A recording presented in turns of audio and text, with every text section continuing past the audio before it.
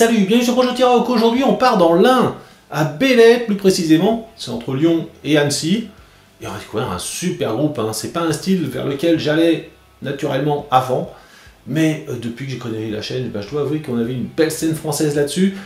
Et bien on a encore un super groupe qui va nous le prouver. Et là franchement, accrochez-vous, ça s'appelle Capitaine Nemo.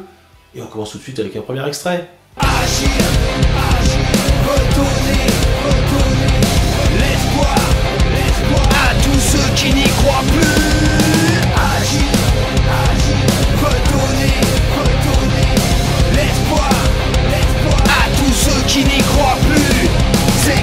Captain Nemo s'est formé en 2013.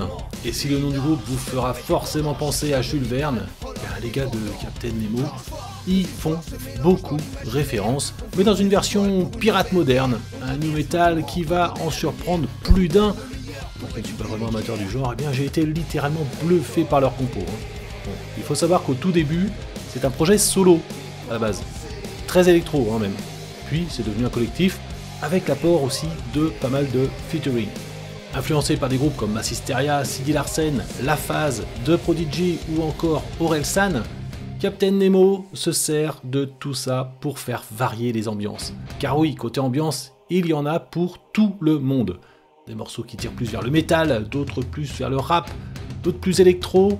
Captain Nemo n'hésite pas à jouer sur plusieurs tableaux, alors pour ma part, hein, les parties électro ne sont pas forcément les morceaux que je préfère, hein, pour être honnête, mais il faut leur reconnaître qu'ils osent dépasser les frontières de styles musicaux et ils le font avec talent.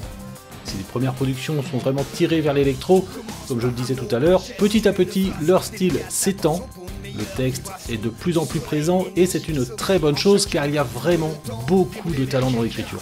Des textes directs, accrocheurs qui doivent faire leur effet en live.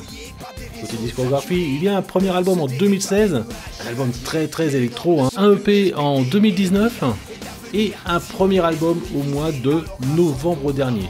Et quel album Allez écouter cet album d'urgence, c'est une véritable tuerie. Un album qui les fait passer un niveau au-dessus, inévitablement.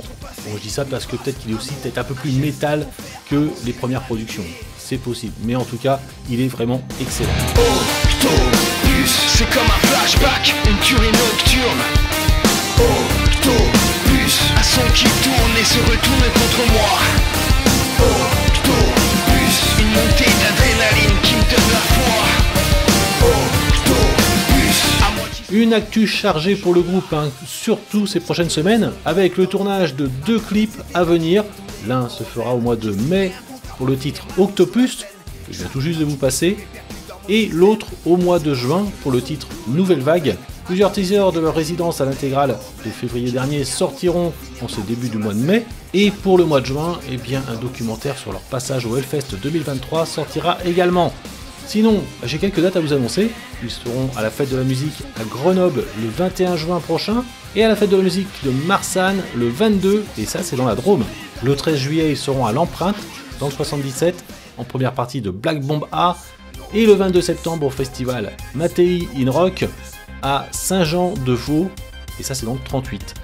Sinon, le groupe cherche un tourneur, donc s'il y en a dans la communauté de la chaîne qui n'hésitent pas à les contacter, ils seront ravis de vous répondre. Enfin, le groupe travaille sur un nouvel album et ses futurs featuring. Voilà, donc le mieux sera bien sûr de les suivre sur les réseaux sociaux si vous ne voulez rien rater de leur actu.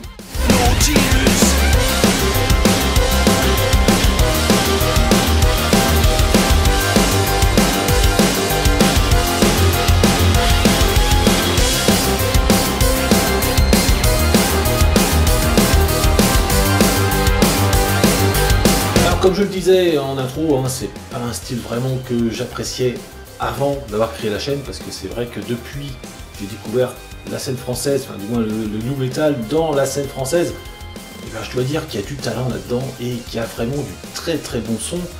Et, moi qui n'ai jamais trop apprécié l'électro, euh, euh, surtout dans la scène métal, là je trouve que ça passe super bien, hein. franchement ils ont du talent les mecs, autant au niveau musical que au niveau des compos, des textes, c'est franchement très bon. Hein. Donc euh, bah, dites-moi dans les commentaires ce que vous en avez pensé évidemment, et puis bah, pour ceux qui ont la chance d'être là, j'aimerais avoir votre retour également, parce que euh, un concert euh, de Capitaine Nemo, je pense que ça doit quand même bien envoyer. Hein.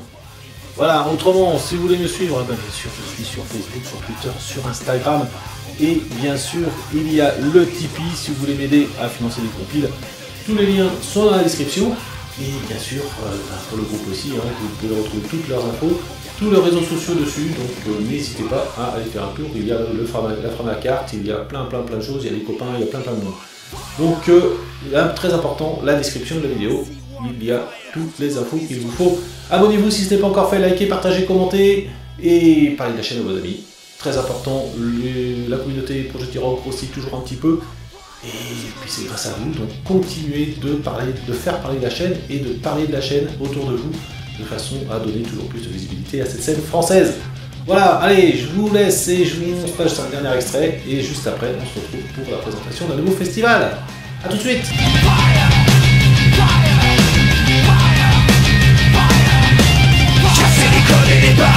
remettre de l'espoir, il faut sortir du cauchemar.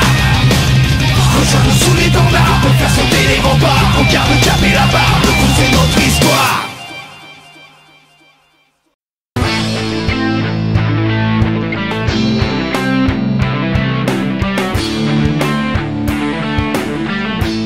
Direction les Hauts-de-France à Caudry, qui est la cité de la dentelle, entre autres, mais aussi où se déroulera la troisième édition du Festival des Chariots Furieux, qui se déroulera le 6 juillet prochain. Au programme, eh bien, quelques beaux noms. Hein. Déjà, la tête d'affiche, Nashville Pussy, un groupe qui, je pense, n'est pas la peine de présenter. Personnellement, j'ai dû les voir une ou deux fois, mais toujours un très bon souvenir de leur passage. Sinon, eh bien, parmi la douzaine de groupes qui s'y produiront, il y en a un qui est passé sur la chaîne. Il s'agit de Abigail, groupe qui est passé il y a un paquet de temps sur la chaîne, mais que je suis toujours car j'aime beaucoup ce qu'ils font. J'ai d'ailleurs l'occasion d'aller les voir il y a deux ans de ça, il me semble, et ce fut un très bon moment là encore. Pour les autres groupes, eh bien, j'en connais quelques-uns, de noms, mais je préfère que ce soit vous qui m'en parliez dans la partie commentaire de la vidéo, car c'est toujours plus sympa d'avoir vos avis. Et puis, ben, pour tout vous dire, il y en a quelques-uns que j'aimerais bien voir passer sur la chaîne. Pour ce qui est du tarif, eh bien, rien d'insurmontable, hein, puisqu'en prévente, vous en aurez pour 15 euros, sur place 20 euros, et c'est gratuit pour les moins de 16 ans, qui devront quand même être accompagnés d'un adulte. J'espère que vous serez nombreux à vous y rendre. Voilà un festival qui offre une bien belle affiche, et ce serait dommage à ce prix-là de passer à côté si vous êtes dans le coin. Allez, je vous donne rendez-vous comme à chaque fois à la fin de la prochaine chronique pour la présentation d'un nouveau fest. Ciao